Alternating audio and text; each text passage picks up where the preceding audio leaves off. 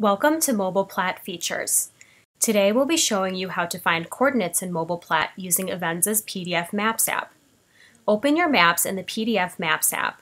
Open the Tools menu by tapping the blue wrench in the bottom right-hand corner of your screen and choose Find Coordinates. Enter the coordinates you are searching for and it will locate them on the map. MobilePlat. The revolutionary plat map is here only available from Rockford Map Publishers at rockfordmap.com.